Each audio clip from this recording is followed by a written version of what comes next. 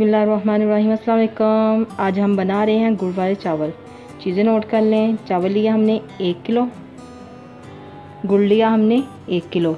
दोनों गुड़ और चावलों का, को हमने हम वज़न लेना है। देसी घी लिया हमने एक कप। चने की दाल ली हमने आधा कप।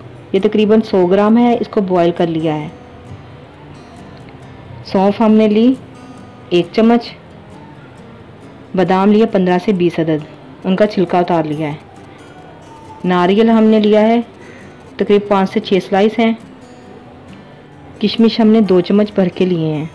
चलें जी, बनाना स्टार्ट करते हैं। जी फ्रेंड्स हमने एक बर्तन लिया, उसमें पानी डाला है। पानी तकरीबन हमने दस कप डाला है। पाँच कप हमारे चावल हैं और दस कप हमने पानी डाला है। अब हम इसमें गुड़ ऐड करेंगे। गुड़ डालकर उसको पकाएँगे। उसका शीरा तैयार करेंगे। गुड़ को पानी में डाल दिया है। अब फ्रेंड्स आप देख सकते हैं, हमने तमाम पानी छन्नी से छान दिया है। और तमाम जो सौंफ थी, कचरा था, वो सारा हमने छन्नी से निकाल दिया है। पहले जब चावल बनाना स्टार्ट करते हैं। जी फ्रेंड्स हमने एक बर्तन लिया, उसमें घी को डाल लिया है। अब हम इसमें नारियल, किशमिश डालेंगे। और साथ ही इसमें बादाम डाल देंगे।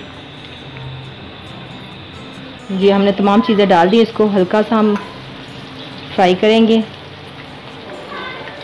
और साथ ही इसमें पानी ऐड कर देंगे। गोला जो पानी है, वो हम इसमें ऐड कर देंगे।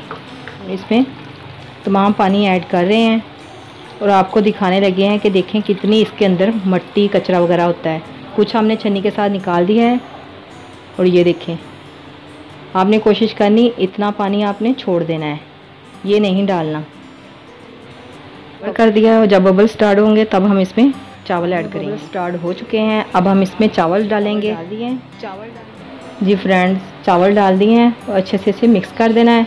और इसके साथ ही हमने चने की दाल ऐड कर देनी है।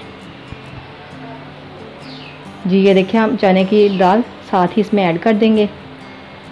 और इसे अच्छे से मिक्स करके हम अब हम इसको कवर कर देंगे। और फ्लेम को मीडियम कर देंगे। और पानी ड्राई होने तक हम इसको ऐसे ही पकाएँगे। जी फ्रेंड्स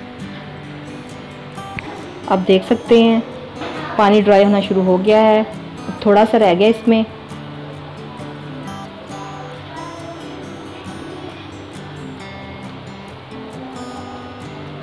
तमाम पानी ड्राई हो चुका है। अब हम इसे दम पे लगाएँगे।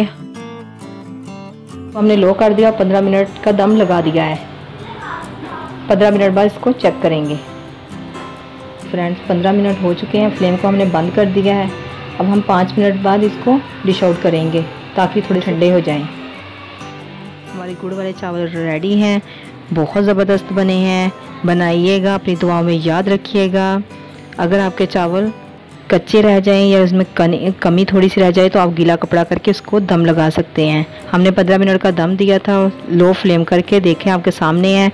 माशाल्लाह बहुत ज़बरदस्त बने हैं। ज़रूर बनाइएगा, अपनी दुआओं में याद रखिएगा और मेरे चैनल को सब्सक्राइब करना मत भूलिएगा। लाइक करें, शेयर करें। अल्लाह हाफिज़।